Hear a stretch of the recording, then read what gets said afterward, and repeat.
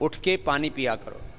जिनको जोड़ों में दर्द है, जिनको मोटापा है, कफ है, उनको ठंडा पानी नहीं पीना चाहिए, उनको गर्म पानी पीना चाहिए। अब देखो, पानी के बारे में मैं बात करूँ तो बहुत बड़ा विज्ञान है। सुबह गर्म पानी पीने से मोटापा कम होता है, और दिन भर गर्म पानी पियो तो एक महीने में दो से तीन किलो वेट कम हो जाता है। और गर्म पानी में गोमूत्र डाल के पियो तो पाँच किलो तक वेट कम हो जाता है एक महीने में। गोमूत्र का अर्क ले लिया करो अपना। देसी गायों के गोमूत्र से तैयार करते हैं अपन गोमूत्र का अर्क। ये मोटापा के लिए, कैंसर के लिए, टीबी के लिए, लीवर के लिए, कॉन्स्टिपेशन के लिए, किडनी के लिए, स्किन रोगों के लिए, जिनका बॉडी में टॉक्सिन्स ऑक्सीडेंट्स बहुत ज़्यादा बढ़ जाते हैं, उनके लिए बहुत अच्छा होता है। मोटापा और कब्ज के लिए तो दवाई है ये, गोमूत्र। तेज गर्म पानी में गोमूत्र पी लो। पहले थोड़ा सा डाल के पी लिया, ऊपर से थोड़ा वैसा पानी पी लो, जिनको सुबह उठ के पानी पीने की आदत नहीं है पहले एक गिलास पिए, फिर दो, फिर तीन, चार गिलास तक सुबह सुबह पानी पी सकते हैं। आपको योग की क्लास में जाना है तो आप सुबह उठते ही दो एक या दो गिलास पी लिया करो, फिर क्लास से आने के बाद पी लिया करो। तो हाँ सुबह गर्म पानी में आंवला एलोवेरा का जूस भी पी सकते हैं, उससे बाल अच्छे रहते हैं, आँखें अच्छी रहती हैं, स्किन अच्छी रहती है, हड्डियाँ अच्छी रहती हैं, और पूरी बॉडी में एनर्जी रहती है, किसी भी तरह के न्यूट्रिशंस की, माइक्रो न्यूट्रिशंस की, डेफिशिएंसी नहीं होती है। आजकल विटामिन की डेफिशिएंसी आयरन की, कैल्शियम की न्यूट्रिएंट्स की, बहुत तरह की डेफिशिएंसी माइक्रो न्यूट्रिएंट्स की डेफिशिएंसी ये बहुत होती है।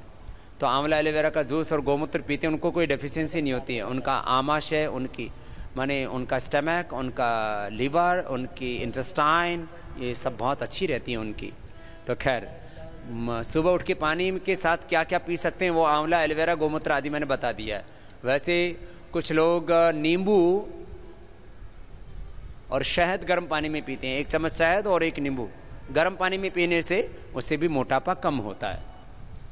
अब, जिनको जोड़ों में दर्द है और अस्थमा है, उनको ठंडा पानी नहीं पीना चाहिए। हाँ जिनको एसिडिटी है, उनको नॉर्मल पानी पीना चाहिए, घड़े का पानी अथवा तांबे के लोटे का पानी पीने से भी कॉन्स्टिपेशन में बहुतों को फ़ायदा होता है। तीन से चार लीटर लिक्विड जाना चाहिए। गर्मियों में तो चार से पाँच लीटर भी कभी कभी हो सकता है। कितना लिक्विड जाना चाहिए? पानी या कोई भी लिक्विड दूध, छाछ, जूस, किसी भी रूप में कितना? तीन से चार लीटर लिक्विड सर्दियों में कम से कम तीन लीटर, गर्मियों में कम से कम चार लीटर लिक्विड जाना चाहिए अपनी बॉडी में। खैर, सुबह उठ करके पानी खड़े होकर के नहीं पीना चाहिए, बैठ के पीना चाहिए। जिनको ऐसे उकड़ू बैठ करके पीने में असुविधा होती है ना, जैसे कुछ कुछ तो ऐसे बैठ जाएँगे, ऐसे ऐसे बैठ के पी लेंगे। अब जिनका शरीर भारी भरकम हो तो लुढ़क ही जाएँगे। तो वो कुर्सी पर बैठ के पी लें। जिनका शरीर भारी भरकम ऐसे बैठने में असुविधा होती है तो वो चेयर पर बैठ के पानी पी लें।